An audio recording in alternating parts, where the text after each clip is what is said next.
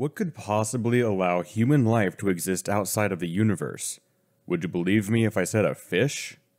Hello everybody, I'm Lavis, and the SCP I'm going to tell you about today is SCP-5005, Lamplight. Let's begin. Item number SCP-5005 Object Class Euclid Level 4 Classified Special Containment Procedures Diplomatic relations with SCP-5005 have been established under the terms of the Serre Treaty.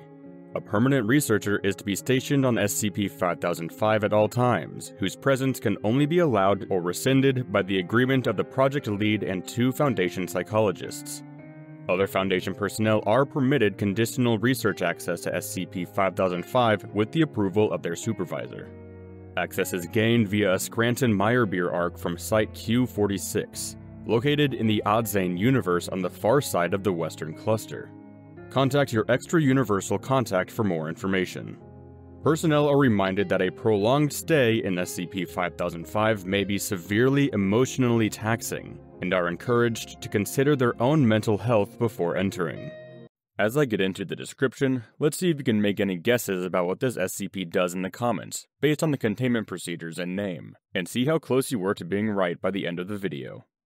Description SCP-5005 is a human settlement located 3,449 Weylands to the multiversal east of the central reality compass, and 87 Weylands beyond where matter is ordinarily capable of permanently existing. Consequently, it is the most remote settlement created by a sentient creature and the most remote matter in existence. SCP-5005 is constructed on an expanse of an Earth-like substance which acts as a fertile soil. The extent of this expanse is unknown, as it is impossible to engage in long-term exploration beyond the limits of SCP-5005-1's light range. SCP-5005-1 is a large biomechanical lantern suspended over SCP-5005. 5005-1's light possesses a degree of reality stabilization far in excess of any other known examples, allowing for the permanent existence of matter within its light range. However, SCP-5005-1's capacity as a light source is limited and temperamental.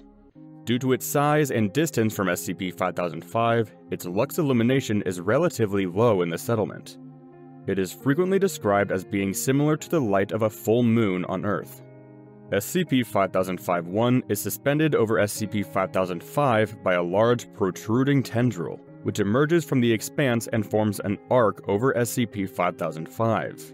The tendril is believed to be constructed from an artificially hardened and strengthened form of the expanse substance. The composition of the expanse substance is unknown. Various scholars have proposed a link to Sriskan holochrome, which possesses a similarly unusual molecular structure.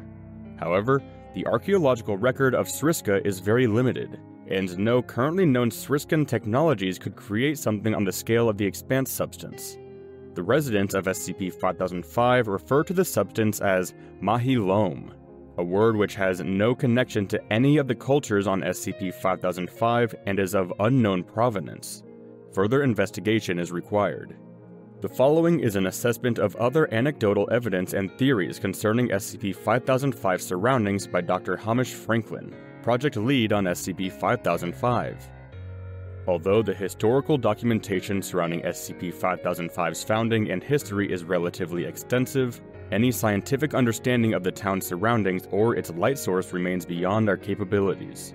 It is clear from the mechanical elements within SCP-5005-1 that it is a synthetic creation of an unknown civilization, but there is nothing we can find that is remotely similar to it. There are some some similarities to Sriskan technologies within the substance of the expanse, but that kind of molecular structure has its forebears in any number of universes in that cluster and beyond. Adzane, Harkret, Karak, what all of them lack is anything even slightly as advanced as SCP-5005-1, which can create almost Earth-like conditions in the midst of unreality. Any number of theories have come forward, a research experiment of the Old Empire, a Neo-Osterian birthing ground, an Adzanian horse culling center. One biologist even thought it could be the remains of a Harkret pioneer's anglerfish.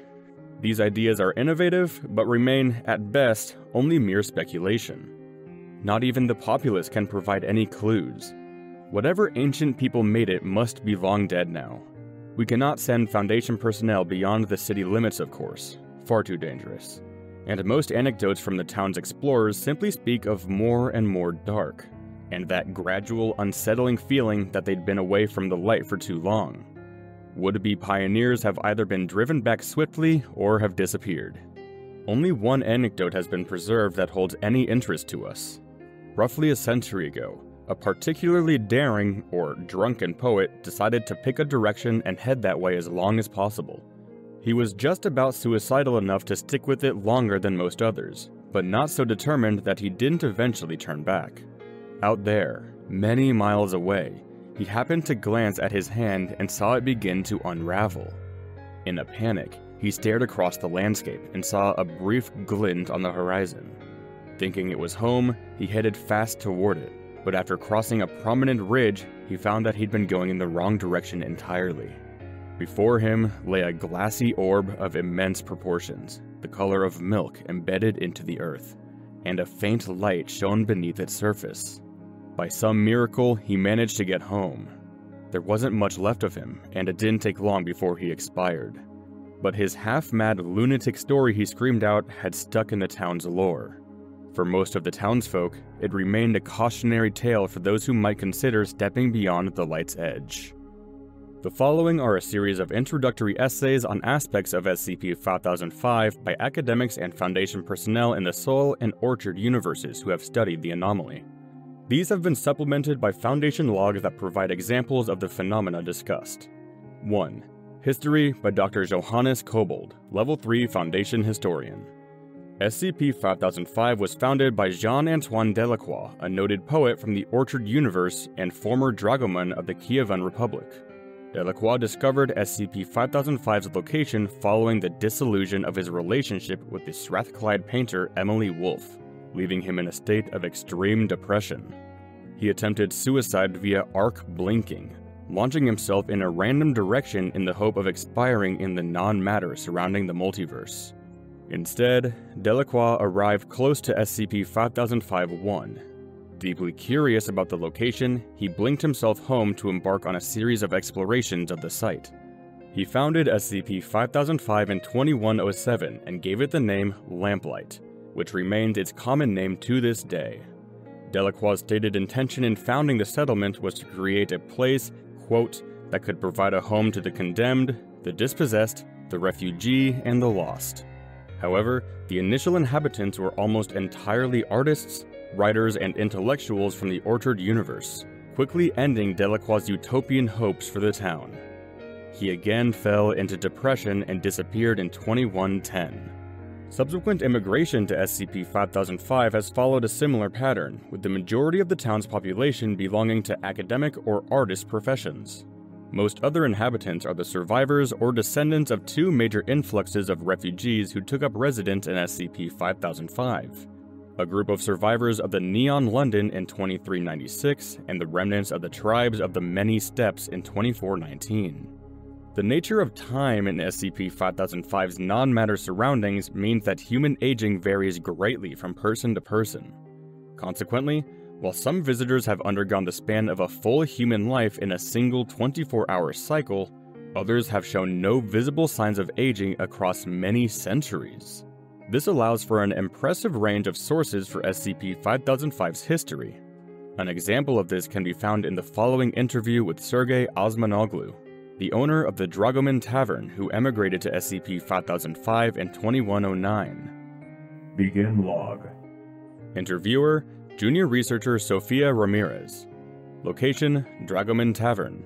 Date, November 29th, 2524. Ramirez is sitting in the main room of the tavern at a table by a window. She has just switched on a recording device and placed it in front of her. A tall, burly man with a thick beard, Osmanoglu, is sitting opposite her. Snow can be seen passing by the window. There is a lit fireplace behind Osmanoglu.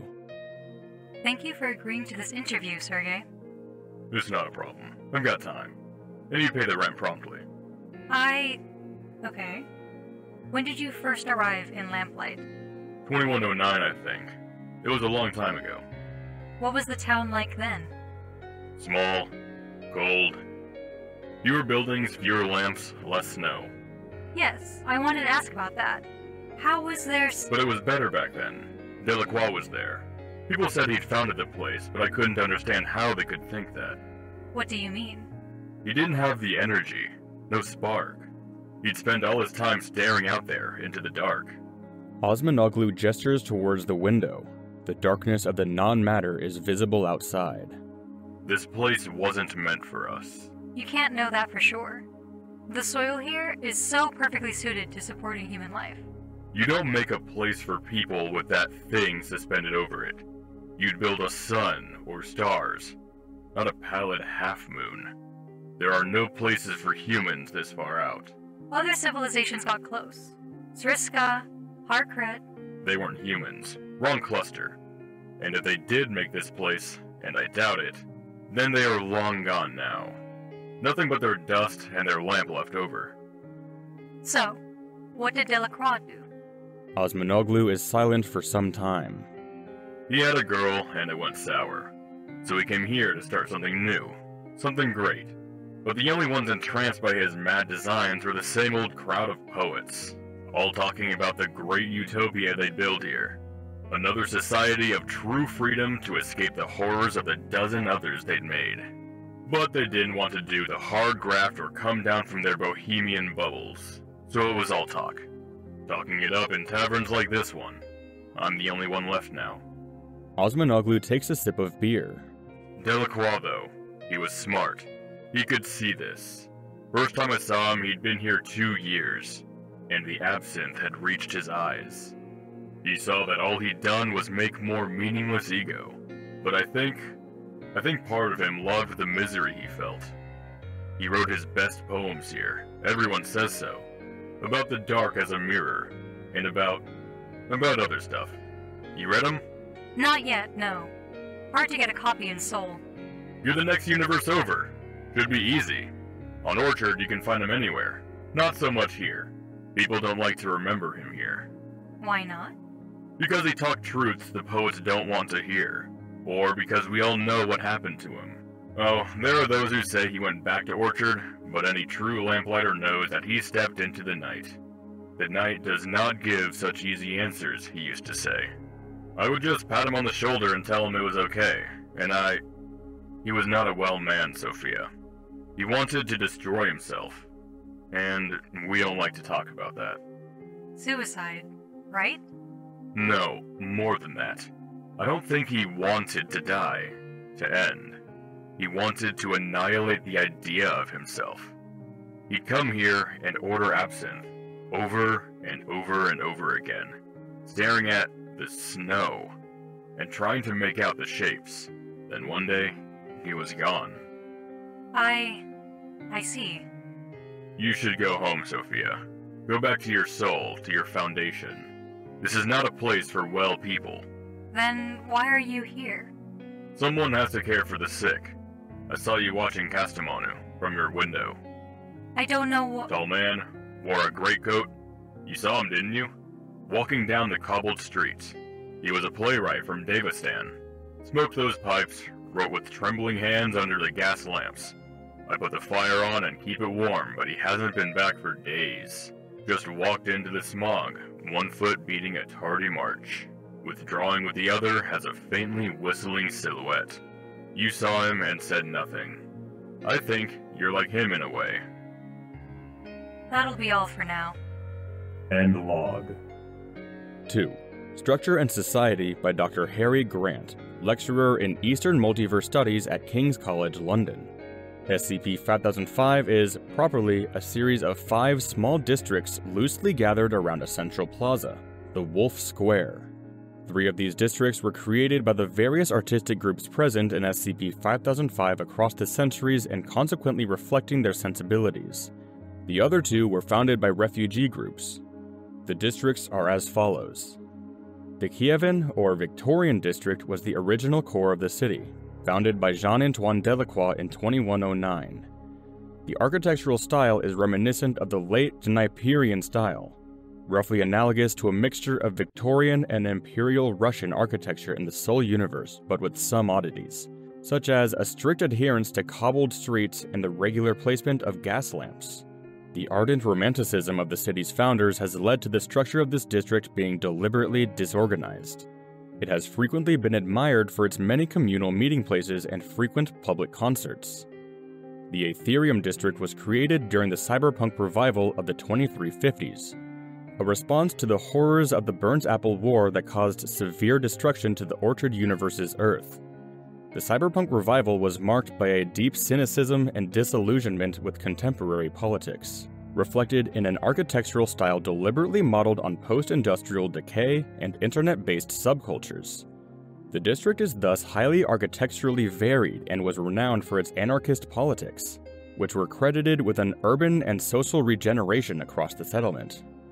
The Giotto district was created by a group of Sol Universe artists who, in response to the Namibian crisis of the 2390s, wanted a radical return to pre modernity as response to the evils of the present. The group, vehemently opposed to all realism in art, created the district as a way to return to a world of starker light, constructing buildings exclusively in Gothic and Romanesque church architecture, and with an emphasis on stained glass light reflecting properties. The early days of this district were marked by an aesthetic, medieval morality, almost entirely absent today. The modern neighborhood is chiefly known for its biannual passion plays and wide range of communal and charitable activities. The neoclassical district was founded by refugees fleeing the Neon London in the early 25th century. Characterized by 18th century British architecture but augmented by a large number of green spaces, flowing curves, and a stated desire to create utopia, this district was rigidly and rigorously planned as an ideal community of elites. Although this project has long been abandoned, the neighborhood has become a focal point for a great number of literacy circles, with young artists frequently attending its salons and literary festivals and many patrons settling in the district. And lastly, the Nomad District was created by the surviving tribes of the Many Steppes, most of the structures here are yurts and other nomadic tents utilized by the Salome Universe's Inner Asia analog. But at the center of the district is a Manitian temple of particular architectural significance even beyond SCP 5005. This district is frequently engaged in housing refugees from across the multiverse, a cause that many of SCP 5005's residents involve themselves in. Despite many historical differences, conflicts and disagreements between these districts are now uncommon, with the populace as a whole freely mingling. Although each district has its own celebrations, there is one major festival celebrated in SCP 5005 by the populace as a whole the Parade of Candles, or Chrismada, held once a year on a day roughly analogous to midwinter in the northern hemisphere of the Orchard Universe's Earth. The following is a description of this festival by junior researcher Ramirez.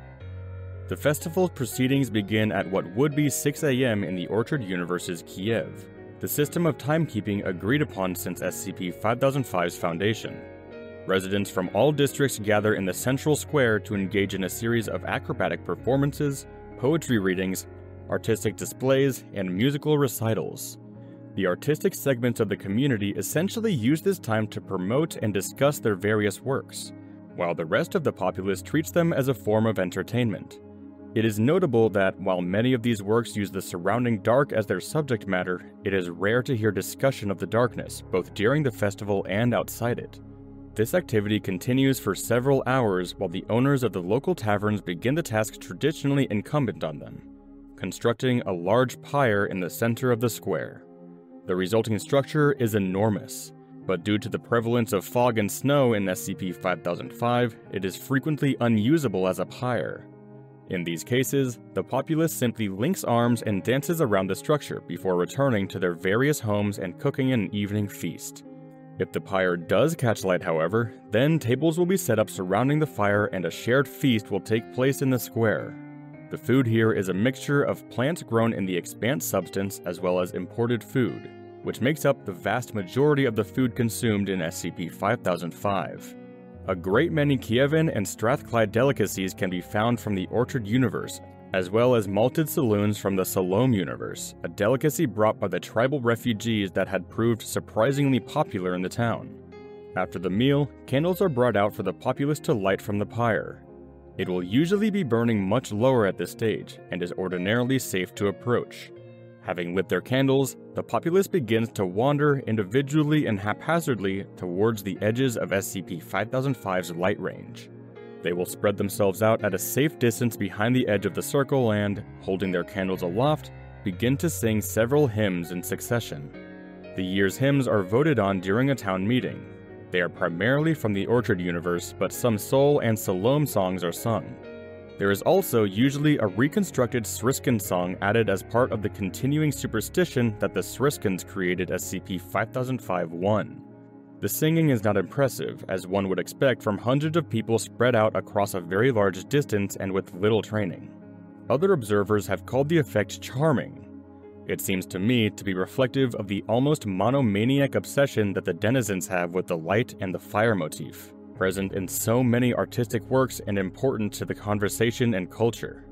It is a bizarre and disturbing fact that so many travel to understand or be inspired by SCP 5005's non material location, but end up ardently embracing the familiar trappings of home.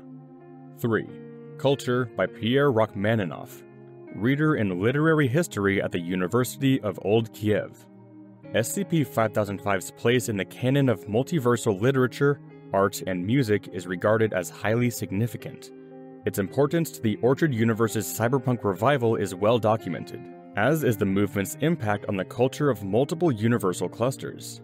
Perhaps less well known is the sheer scale of artistic figures who have lived in or been inspired by SCP 5005. The Dragoman, Firefall, and Old Sriska taverns have all seen the formation of a number of significant literary circles. The renowned 22nd century poet Fernand Borges was deeply affected by SCP 5005, writing his famous poem, The Hearth of Baudelaire. A Ulysses like attempt to portray the common life of the city's inhabitants as a large scale epic. Martha Vintage's historical novels, all concerned with Sriskan and Harcretian families settling on the edges of space, are thought to have been inspired by her stay at the Firefall. But the most famous literary resident is still Delacroix, whose influence over the writings of the whole of the Western Universal sectors is incalculable. The unique moonlight effect of SCP 5005-1 and the sense of community in the settlement have been portrayed numerous times in the visual arts. The Franco-Saloman painters Claude Karakorum, Mohamed Watteau, and Francisco de Shiraz were all drawn to SCP-5005, with Karakorum's piece Delacroix's Bedchamber being among the most famous artworks of the Western sector. The musical influence is less easy to trace, but a great many noted composers have made visits. Marius Konigsberg's Charismata Symphony and the Cheer and Frost Heptet were both composed during his stay in SCP 5005. It is notable that the pieces of temporary visitors or recent immigrants to SCP 5005 are almost invariably focused on the non matter surrounding the settlement, while those of long term residents are often fixated on community, light, and sensual pleasures. Various explanations have been given for this disparity in subject matter. Many short term residents state that they came to SCP 5005 expressly to see the non matter, and that anything else is simply a distraction, deterring from a proper exploration of the location's mystery.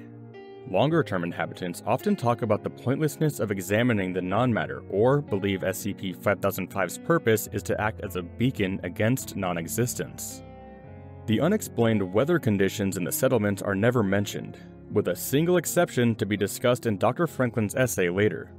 The following is an interview between researcher Ramirez and the famed Sol Universe poet Juan Lumiere, who settled permanently in the town in 2276. It is included here to give a sense of the perspective of many longer term inhabitants of SCP 5005. Interviewer Junior Researcher Sofia Ramirez. Location outside the Firefall Tavern. Date December 12, 2524. Begin log. Junior researcher Ramirez is walking towards the back entrance of the Firefall Tavern, which opens onto a wide cobbled street on a slight incline. Fog can be seen all around, obscuring the rest of the street. The sounds of revelry coming from inside the Firefall can be heard, a man in his 30s, wearing a long, thick greatcoat, is smoking a cigarillo outside the entrance. Ramirez approaches him. Uh, hello? Juan Lumiere? The very same. You're that Foundation girl, aren't you? Staying at the Dragoman? Junior researcher Sophia Ramirez. A lovely name. I can only presume, given that recording device on your shoulder, that you've come to interview me. If we could step inside. Hmm, I prefer to stand out here. They're bright and merry in there. I'll wait until the fire's lower and the company more selective. Let the young have their fun. How old are you? 278. Don't look it, do I? The perks of this city. I've aged six years in the time I've been here, by my count. But nobody ever comes here for eternal life. I've been wondering about that. It's because it doesn't feel as it's meant to. You don't feel like you're living longer, just that those years have been spread out longer, like skin stretched over a drum. You never develop properly. Your writing has. I didn't think anyone in Sol ever heard of me. It's. Well, if I'm honest, it was your work that first drew me here. You're unusual. Your later stuff talks about fire and light, but with much more craft than most of the other long termers. You like the newer ones then? I. I do quite like them. But you like the earlier ones more. Lumiere sighs and stubs out his cigarillo. Everyone likes the earlier ones more. They don't understand why someone would come to Lamplight just to write about the things in their own lives. To them, in their Kievan salons, this place is just the wild frontier. The mystery beyond mysteries, the edge of all creation. They want something wild, not something homespun. Isn't that natural? Lumiere narrows his eyes, thrusting his hands into the pockets of his coat. Do you write at all? Compose? I. I play a little violin. I write some stuff in my spare time. But that's not why you came here. You came here to solve its mysteries. It has so many. You're barking up the wrong tree, girl. You won't solve anything. You should go inside. I'm fine. I'm not here to party. Then there's your mistake. I've seen so many like you come through here. You've read Delacroix? I recently acquired a copy. I haven't read much yet, though. It's his last poem that, if not understood, then at least got some glimpse of this place. Rough, almost like a regression into juvenilia. But the only thing he wrote that really threw a light on the bright young things that come here, full of opium and dreams. You think people come here to see the dark? They come here because they think they should. They think inspiration is full of the external, the depths of the human soul, the ravaged passions of the age. It's not. Inspiration is the dust on a wainscot and the smell of barley, the warmth of heaths, the... There is an infinite dark outside. A light that should not exist above. Why should I come here to play the fool? This town should not exist. It was always going to exist. This place was inevitable. What does that mean? Why did you not help Castamonu? There is a pause for several seconds. You drink same as me and the rest, but you drink ice cold gin in the silence of your room. You spend hour after hour puzzling, typing, working through things. I see you in your window staring out at the night, and you watched as Castamonu just marched himself off into the night because you felt the same things he felt. What? Why do you? Because I've seen you before, a thousand times. The artist falling on his paintbrush as a sword. The writer who sees God in a grain of darkness. Sometimes I stop them, but mostly they ignore me. The wisdom of youth and all that. One fine day, they'll walk into the night, into the echo chamber of compounded mystery. Never understanding that we built this place to be a beacon against it, the inevitable human sigh of defiance in the night. Lumiere buttons up his jacket and begins to walk away. Where are you going? I'm not done with you yet. Go to the fires, junior researcher Sophia Ramirez, and get a shorter name, because you'll learn one way or the other that there's nothing out there. Lumiere walks down the street and into the fog, whistling the Blue Danube Waltz. Ramirez stares after him for several seconds before turning off her camera. End log. 4. Psychological Impact by Dr. Hans Friedberg, Level 3 Foundation Psychologist. The emotional and psychological effects SCP 5005 has on a large portion of its residents is particularly noteworthy. A minimum of 14 disappearances have been recorded in the town in any given year. Extensive investigations by local law enforcement and Foundation researchers have determined these to be almost entirely suicides. The reasons for this disappearance rate in a town of SCP-5005's size, with its generally high standards of living, is not wholly clear. The psychological effects of a lack of sunlight or a relatively unvaried diet have been considered, as has the sheer danger of an unpredictable light source. But the most interesting evidence is that the overwhelming majority of the disappearances come from artists, writers, and particularly academics who have been resident in the town for less than a year. These residents often display similar patterns of behavior in the weeks prior to their disappearances an obsession with the non matter surrounding the town, an increasing dependence on narcotics, and a greatly increased output but diminished quality of work. Many townspeople attempt to intervene, but to little avail affected individuals are likely to become increasingly isolated and aggressive towards others. Four Foundation personnel are known to have disappeared in SCP-5005 since the SERE Treaty was signed, all apparently committing suicide via non-matter. Although a cause for concern for Foundation personnel, the unavoidably limited nature of mental health provisions within the Foundation has meant that this situation is difficult to overcome. For an example of some of the concerns typically raised with the Foundation's psychiatrist unit, the following is an extract from Dr. Franklin's report of a check in with junior researcher Ramirez in December 2524.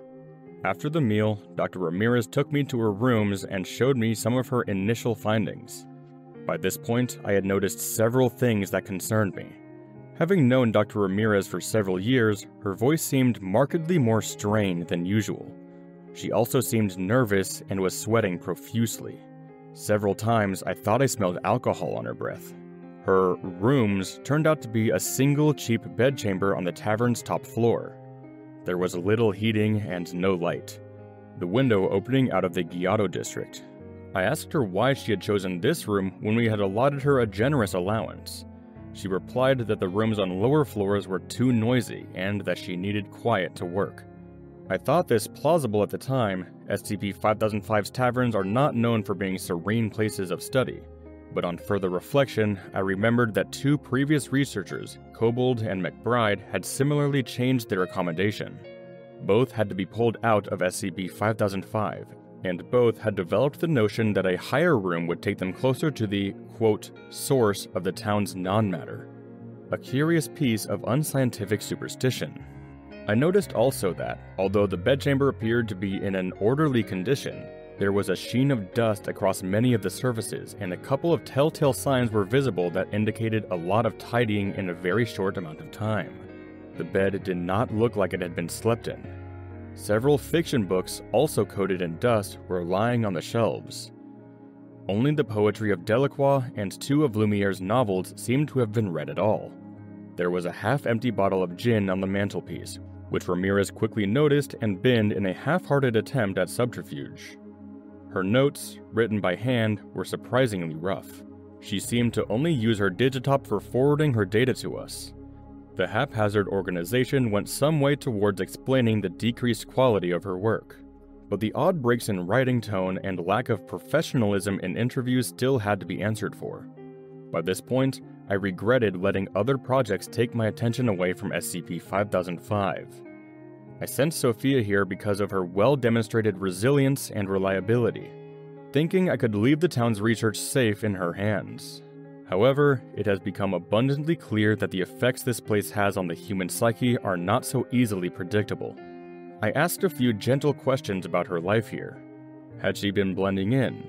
Was she enjoying the local culture? and it did not take long for her to become paranoid and resentful of my presence.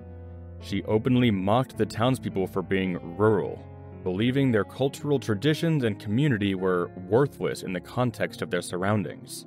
She lamented their lack of curiosity in SCP 5051, the Expanse, and the surrounding non matter. To my surprise, she also displayed little interest in Lumiere's writings, something which had previously been a passion of hers, and actively disdained Delacroix, calling his last poem irredeemable garbage that understands nothing. The true nature of her interests rapidly became apparent. She had devised a scheme based on the angles of SCP-5005's light to find a location where the bizarre laws of physics would allow someone to see the entirety of the expanse which SCP-5005 rests upon.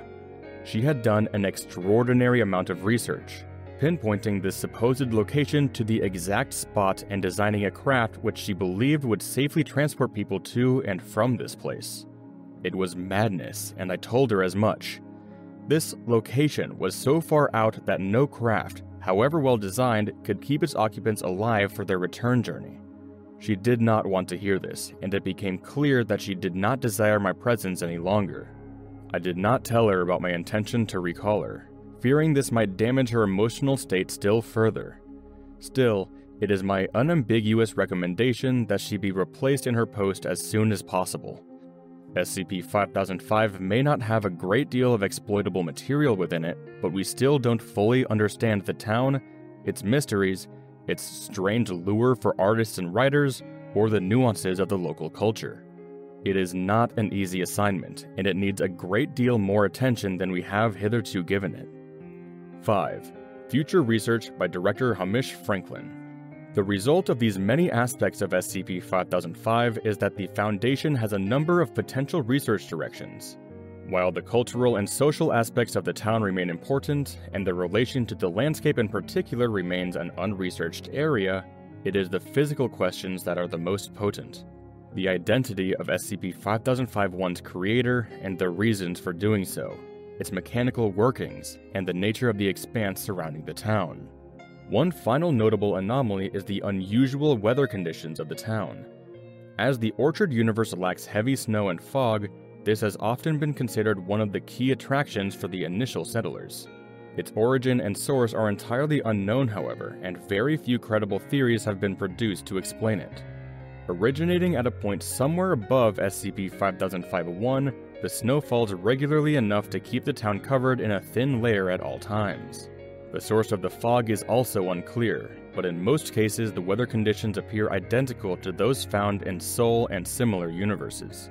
A related problem is near complete absence of these conditions in any literary or artistic works. Researchers have noted that the townspeople rarely discuss it, often appearing dismissive and frightened when it's brought up. Researchers themselves have openly stated after leaving the town that the weather made them feel uncertain or lost. Extensive testing has ruled out the possibility of any memetic or cognitohazardous effects. As mentioned above, the only known creative work to discuss these conditions is the final poem of SCP-5005's founder, Jean-Antoine Delacroix.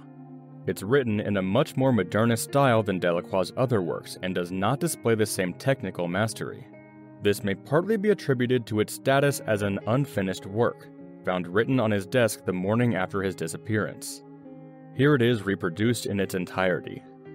Cold entrance cuts the mountain, where I buried you, salt and brine, whispering down the waterways of ash, where you ran, laughing.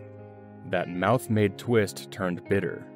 Here on the edge of human eyes, I stare into the mirror of the dark, that mirror that sears my ravages of bone, and brings such images of the world's dismay, its broken, luminous char, its dreams of all the starving artists, beavering away in opium, or simmering soft in pain, casting off the trappings of the world, which leaves just silence, soft, and cold disdain.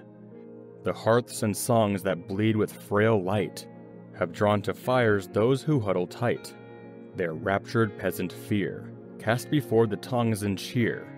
I walk, a figure in the fog of old laments, away from these twin tales and into the snow, into the earth, with no narrative foes or platitudes of friends.